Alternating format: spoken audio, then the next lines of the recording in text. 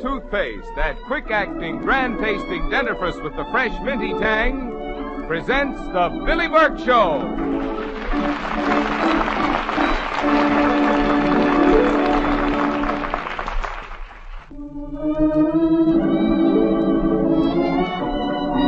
And here she is, our smiling, bright morning star, our misleading lady, Miss Billie Burke. Good morning, everybody. Good morning. Now let's look in at the little White House on Sunnyview Drive. It's a bright summer morning, and in the kitchen, Miss Burke and Daisy are having breakfast.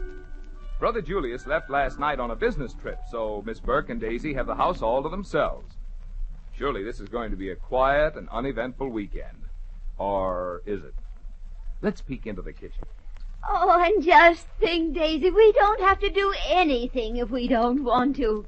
While Julius is away, we can have a real vacation. Oh, I feel just like a cat out of the bag. it's going to be mighty quiet around here without Mr. Julius. yes, but won't it be nice? For a change, I mean. Nothing happening. It will be such a relief from that constant palladium. Goodness, how long has it been since we enjoyed a leisurely breakfast like this? hmm? Oh, not since Mr. Julius was in bed with the measles. No, that's right, Daisy. More milk, Miss Billie? yes, please, Daisy. Oh dear, someone at the door. Come in. Who is it? Colonel Fitts, Billie. Oh, Colonel Fitzy. Well, come in, Fitzy. We are in the kitchen. Good morning, Billie. Good morning, Daisy. Good morning, Colonel. Hmm. Won't you have a bite of breakfast, Colonel? Oh, How could I refuse a lady as lovely as you, Billie? Oh, waffle batter. You're just hungry. Oh, incidentally, we're having waffles. Would you like one? Of course you would. Daisy, will you bring a Colonel Fitts a nice crispy one with syrup? Two just coming off the assembly line. Mmm, they smell delicious. Oh, and they're so tender, you can cut them with a knife. Ah.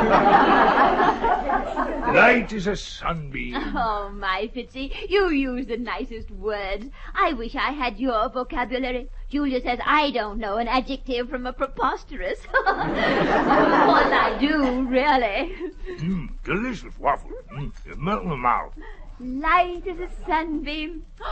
Oh, I have a perfect idea. Daisy and I could go into business. We could call ourselves the Sunbeam Waffle Bakers. All we need is a little shop and... And what about the OPA? Well, we could open a shop there, too. All, all we need is a... uh, excuse me, Billie. I, I- I very nearly forgot. I came over to ask you a favor. A favor? Yes, yes. I have a thousand dollars here in cash. Oh, my. Uh, will you keep it for me until tomorrow morning? Keep it for a thousand dollars in money? Cash in the barrel house? Yes, yes. Right here, a thousand dollar bill, see? Oh, goodness. Now, I'm going out of town overnight, and I must be back here in the morning to complete a business deal. Uh, I'd rather not carry a thousand dollars with me. I don't want to leave it in the house while I'm gone either.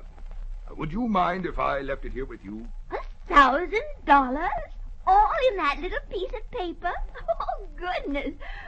But I, I well, certainly you, you may leave it here if, I mean, do you want to trust us with it? I'd trust you with anything, Billie. You know that. Oh, really? Well, that's awfully sweet of you, but dear me, that's an awful lot of money, isn't it? You aren't afraid to have it in the house, are you, Billie? Afraid? Oh, heavens no, that little piece of paper can't hurt anyone. Thank you so much. I'll feel a lot better knowing it's in safe hands. oh, yes, naturally. And thank you for the waffle. Oh. I have to hurry downtown now. I'll see you first thing in the morning, Billie. Goodbye. Good- goodbye. Goodbye. Miss Billie, is that a real thousand dollar bill? Oh, yes. Colonel Fitts left it here for us to take care of until tomorrow morning. Oh, look, isn't it pretty? Here, Daisy, hold it. Not me. I don't want to touch it. well, gracious, it won't bite. I know, but that's too much money for one hunk of paper. What are we gonna do with it? Well, just keep it for Colonel Fitts. We're just storing it for him like a charge account at the bank, you know. All day today and all night tonight? Mm-hmm. Miss Billie, I don't like being on the same roof with that much money. but I don't understand, Daisy. No one knows we have it except us. That's what I mean. You and I are the only ones except Colonel Fitts who knows it's here. So if anything happens, we're gonna be in trouble. Yes, I hadn't thought of it that way. Daisy, I know what we're going to do. I have the solution right in a nutshell. We'll take this thousand dollar bill and hide it. We'll hide it so nobody can find it. That's a good idea, but who's gonna hide it? Well, you hide it, then I won't know where it is. Yeah, but I'll know and I don't want to. you hide it. Me hide, but, but if I hide it, then I'll know where it is. Goodness, I'm in such a state now, I don't trust anybody. Not even me. Well, one of us has got to know where it is if we're gonna hide it. Oh, dear, how can we? Wait, I know. Oh, gracious, it's so simple, Daisy. Well, what you gonna do? Why, the perfectly natural thing. I'll go out and get a perfect stranger to come in and hide it. And then neither of us will know where it is and won't have to worry about it. How was that again? Well, it's all solved, Daisy. You stay right here and guard the money. I'm going out and get a stranger. I'm going to get the strangest stranger I can find.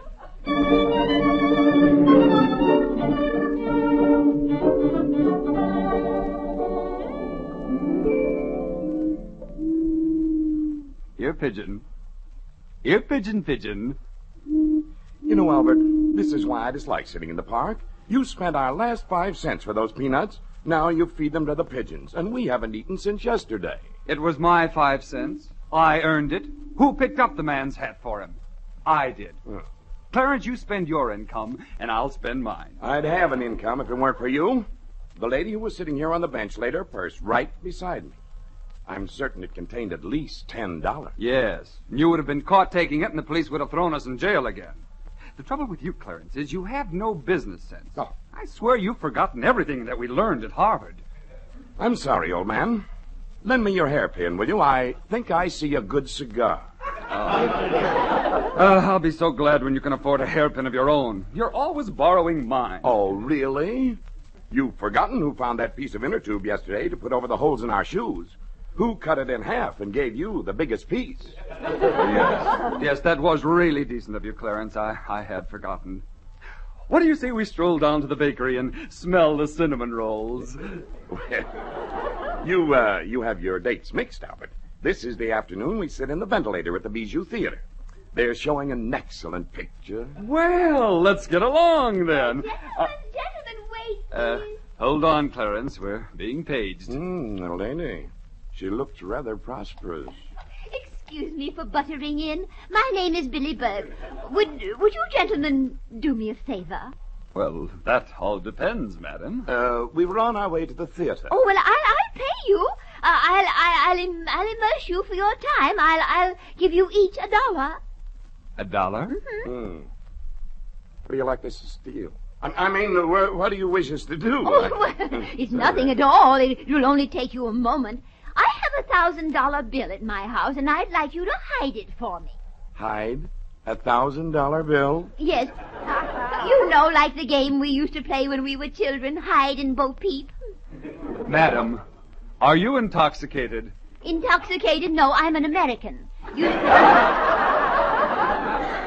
you see, neither Daisy or I want to know where the money is hidden, so we have to have someone outside the family hide it.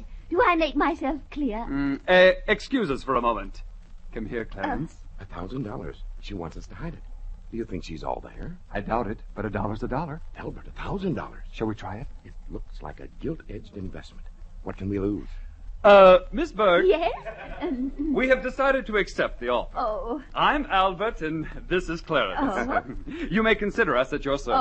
oh, thank you. You're both very kind. Just come with me. Uh, there's one thing. You aren't going to ask us for references. References? Oh, heavens no. I can see that you're both honest men. If I say my so myself, I'm a good judge of caricatures.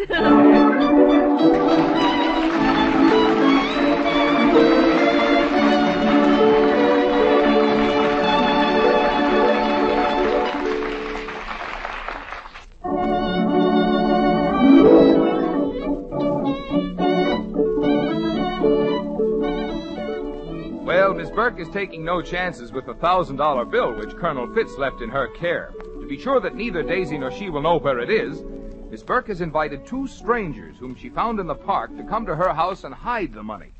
Daisy's out in the backyard hanging up clothes, and Miss Burke is in the front room with the strangers.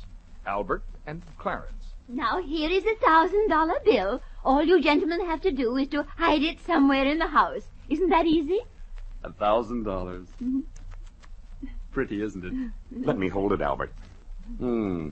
Is that a phony? Oh, phony. No, no. No, the, the picture is, on it is of George Washington or Lincoln or somebody. I don't just know who. Now, you boys hurry and find a nice place to hide it. And here is a dollar for each of you. One for you, Albert, and one for you, Clarence. Isn't this an easy way to make money? Yes, it certainly is. It certainly is. Uh, Clarence, I'll hold a thousand dollars. Now, Miss Burke, where do you suggest that we hide it? Oh, well, that's entirely up to you. I don't want to know where you put it. That's why I brought you here. Don't be stupid, Albert. You heard what Miss Burke said. She wants us to hide it. Yes, but Albert, the lady knows what she's doing. Why should she want to know where we put the thousand dollars?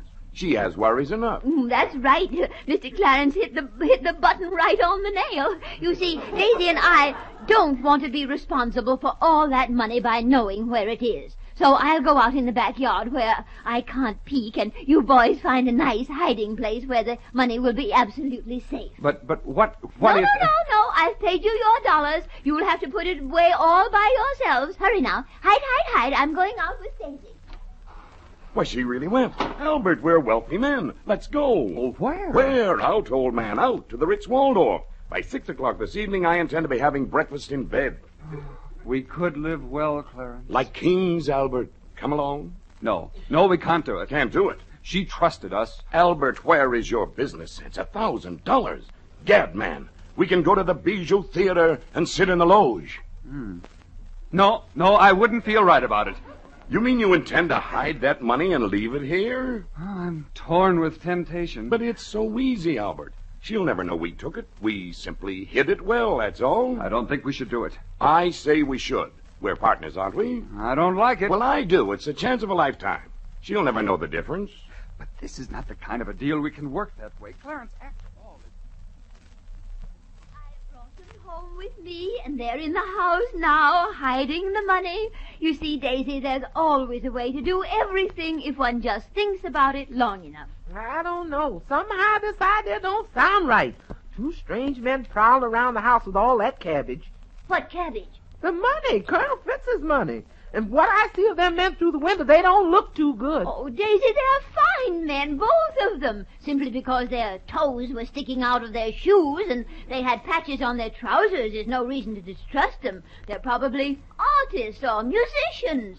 Really, they're diamonds in the roughneck. Well, maybe so. But I still got a feeling there's something wrong with this idea. I don't know what it is, but it's something. Oh, you're just imagining things, Daisy. You you got out of bed this morning on the wrong side of the road. I wonder if. Do you suppose Albert and Clarence have finished hiding? Albert? Clarence?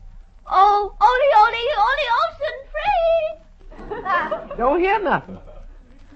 Well, they're probably. No, they've hidden the money. That's it. Let's go in and see. Oh, boys! Boys! Nobody in the house. Ah, bless their hearts. They've done it just, they did just what I asked them to do. They've hidden the thousand dollars and gone on their way, just like the knight who folded his Arab and disappeared into the tent. My, I feel so much better. No more worrying about that. Oh, that horrid old thousand dollars. Yeah, the only worry is now is where is it? That's the lovely part of it, Daisy. We don't know. Now, if burglars come tonight and say, Where is that money? We can say, We don't know. And we'll be telling the truth. I'm very proud of me. Let's see. If the burglars say, where's that money? we say, We don't know. And when Colonel Fitts come back and says, where's that money? We say, Oh, good heavens. Oh, what do we say? I knew there was got something going to go wrong, and this is it. Now, now, wait, Daisy. I had this all planned out. Let me think. What? And we'll be telling the truth. I'm very proud of me. Let's see. If the burglars say, where's that money? we say, We don't know. And when Colonel Fitts come back and says, where's that money? We say, Oh, good heavens. Oh, what do we say? I knew there was got something going to go wrong, and this is it. Now, now, wait, Daisy. I had this all planned out. Let me think. What were we going to do when Colonel Fitts came back? Miss Billie, don't use that collective plural pronoun we. I don't want no stalk in this company. Gracious. Daisy, when I planned all this, do you suppose I overlooked something? I would say there's just a possible certainty. Well, we're, we're not going to be frightened. We've got to look at this problem in the cold light of doom. yes, sir. The money is hidden somewhere in the house, so when Colonel Fitts comes back, we'll simply hunt for it and find it. there, wasn't that easy? Was it? Certainly, after all, there are only so many rooms in the house and only so many places to hide anything.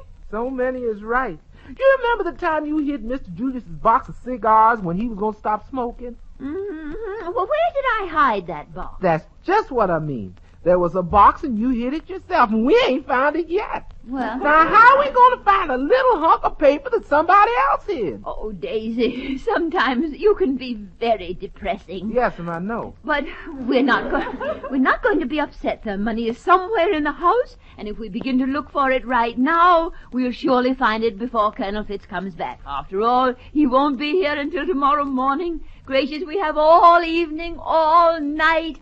Why, in that time we could find a needle in a hot foot. Good gracious. Oh, when did you hide Mr. Julius's cigar box? When did I hide it? Last May. But that's different. Money is always easier to find than anything else. Oh? Goodness, let's not just stand here. Let's be up and doing. Let's look. Where do you suppose they put it? I don't know. Well, suppose your name was Clarence and Albert. Where would you put a thousand dollar bill? In my pocket. Oh, Daisy, you're no help at all. Goodness, help me. Try to think. Concentrate. Well, I don't know where to start, Miss Billie. Why don't you concentrate? Use that mental telepathy oh, stuff. Well, that's an idea. I'll close my eyes and make my mind a blank, a total blank. Then the first thing that comes into my head will be the place where they hid the money. Now I'm going to concentrate. Hush, Daisy. See anything? No, no, it doesn't work. All I can see is a shrimp salad. Well, we'll simply have to start looking. Do you suppose they put it under the rug? Ain't nothing there. No, just a just a couple of robert pins. Look behind the pillow on the sofa. Anything there? Two pennies in a gum wrapper. We ain't never gonna find that bill. Daisy, you mustn't you mustn't accentuate the negative. We have to find it. There are no ifs or andrews about it. I wonder if they did hide it in the clothes clo- hall clo- closet. You suppose they could have put it there? You see anything? No, goodness, no, no. Oh, here's this box of old hats of mine that was supposed to go out for the ragman today. Will you take it out, please, Daisy? Oh, good heavens, who's that? Peek through the window, Daisy. Uh-oh, excuse me, Miss Billie. I'm getting this box of hats out and back to the rag man. Yes, but who's at the door? Colonel Fitts, goodbye, good Colonel luck, tally ho. Oh, Daisy! Daisy!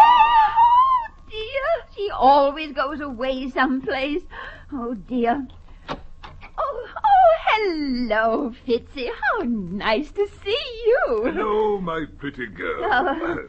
My plans changed at the last minute. Oh, Luckily, I don't have to leave town tonight. you don't? No. I received a wire from the chap on this business deal. Yes. He's coming through here this evening, so we'll settle the matter right here. Hmm. Aren't you glad I'm not going? What? Oh, oh, yes, I'm glad you're not, of course. yes, I'm, I'm, I'm devastated. Well, you look worried, Billie girl. Well, you see, I'm glad it turned out this way. I've been thinking about that thousand dollars you and Daisy alone here in the house. oh, Too much money. Dangerous. Yeah. Should have thought about that in the beginning. Mm. Well, aren't you going to invite me in? invite you. Oh, yes, I suppose so. That is, yes, do, do come in, come in. Bingo. I shouldn't have taken advantage of your kindness, Billie, asking you to keep that money.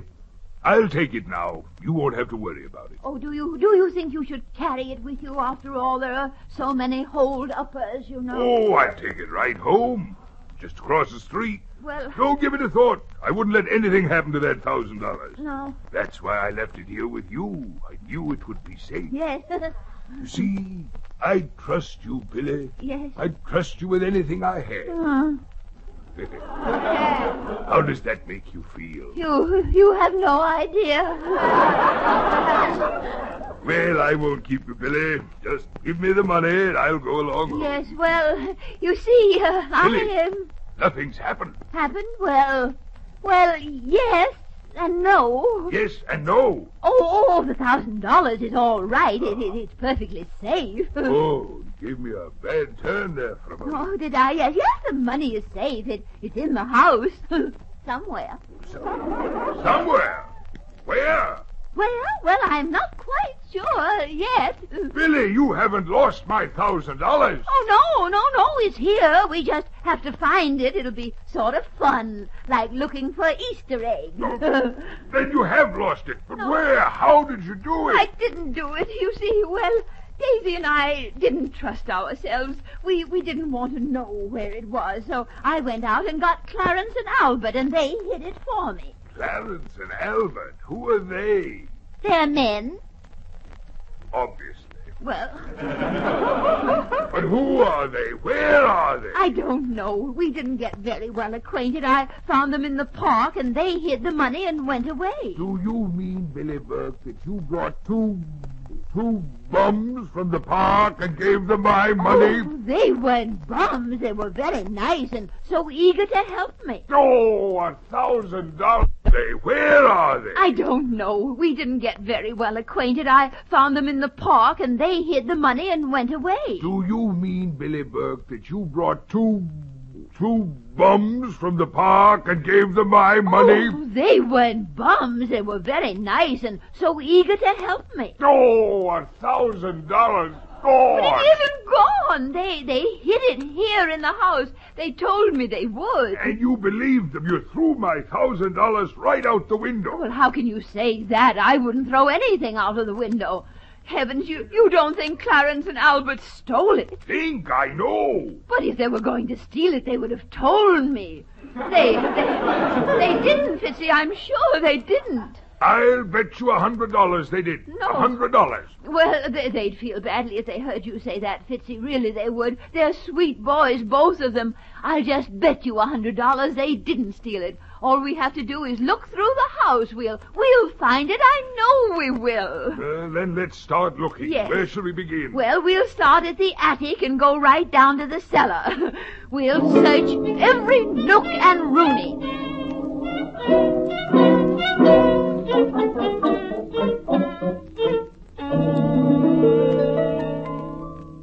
back in the shadows, old man. Now, you admit we made a mistake leaving that money, and you've agreed we'll enter the house and retrieve it.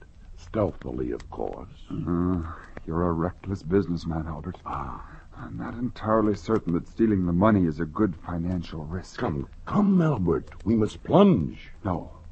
No, I have a better plan, and based on sound business practice.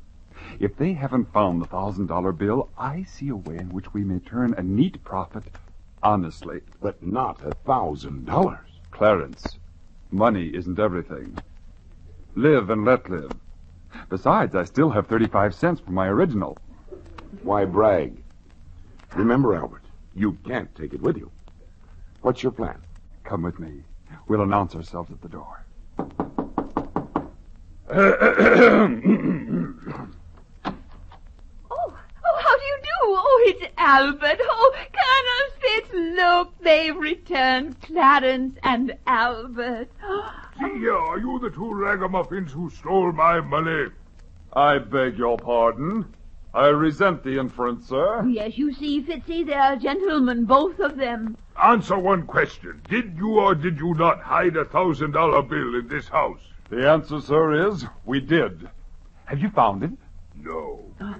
You see, I told you, I told you. Oh, you lose your bet, Fitzy. Clarence and Albert are men of high calico. But Albert, where, where did you hide it? Oh, I, I regret, Miss Burke, that I must ask a price for that information. It's business, you know. Business. Oh, oh yes, a, a hundred dollars? I refuse. I refuse. Uh, that my, offer. my, my, my business partner is a little hot-headed. We accept the offer, Miss Burke. Oh, We placed the thousand dollar bill in the lining of a lady's hat, a red one, in a box of hats in the hall closet. I wouldn't have believed. oh, they're honest men, as honest as the day is done. Pay the boy my hundred dollars, Fitzy, please. Oh, why, it's robbery. Hundred dollars. Here. Oh, thank you. And thank you, Miss Burke. It's been a pleasure meeting you. Oh, you. thank you. Now, if you'll excuse us, we must run along. We're we're late for the theater. Cheerio! Oh, cheerio, Albert and Clarence. Cheerio. Tramps, bums. Now, now, now, Fitzy, it all turned out just as I told you it would. Where's the closet? Let's find that hat. The hat. Oh, the hat! Oh, Daisy! Yes, sir. Da- Daisy, did you, did you did you take the box out? Yes, sir. Did, did the ragman pick it up? Yes, sir. Billie, don't tell me that box of hats is gone. Oh, gracious, isn't that the silliest thing to have happened? Silly! My thousand dollars is gone with it. Oh, Oh, don't fluster yourself, Fitzy. I'll get the money back. I'll find it. I promise you I will. But the hats have gone to the ragman. It doesn't make any difference. We'll find it. You'll never find it in this town. One hat's just like another. A hat's a hat. Oh, oh, not my hats, Fitzy. Oh, I'll find the one with the money in it, and we'll recognize it immediate. Why, when I wore it, they said it looked like the atomic bomb over Bikini. Goodbye,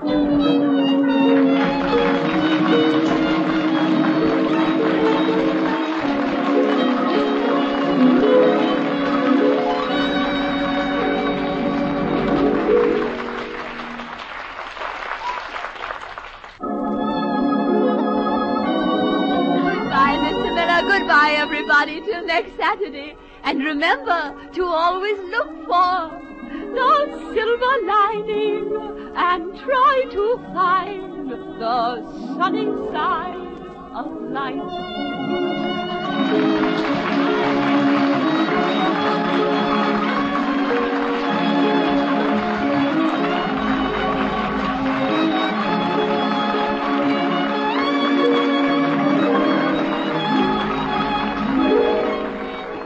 The Billie Burke Show is directed by Dave Titus. Today's story was written by Paul West. The part of Daisy is played by Lillian Randolph. Today, Albert and Clarence were George Neise and Ken Christy. Music is under the direction of Carl Bonowitz. Tune in again next Saturday when the makers of Listerine toothpaste again present The Billie Burke Show. For the best in Saturday listening, don't miss Let's Pretend, The Billie Burke Show, and Armstrong's Theater of Today. This is Colonel Fitts speaking. Or if you prefer, your announcer, Marvin Miller. This